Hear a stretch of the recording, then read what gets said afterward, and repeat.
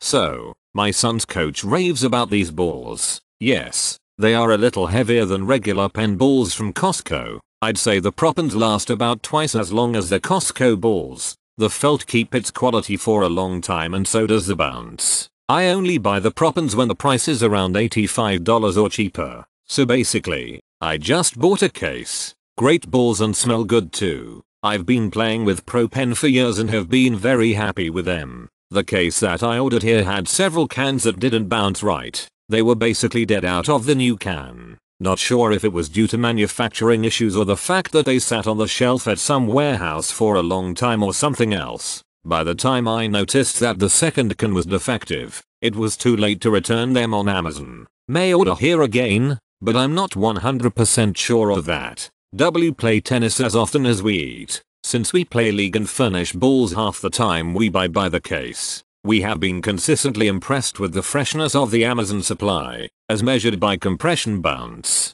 The freshness is across all the brands we have bought, and then we go the Pro Penns, the best ball we have used and we buy with confidence because we believe that Amazon must turn over balls faster than most other sources we have used. At our tennis club, most players will play either Penn Pros or Wilson because they are usually on offer in the pro shop. I've seen a noticeable difference in the freshness out of the can and long-term durability of the Penns. I might open a fresh can for a ladder match, but then be able to use that can for at least 2 or 3 long practice sessions before they start to feel sluggish. Buying by the case helps save a little money and you're never lacking a can of balls when you need one.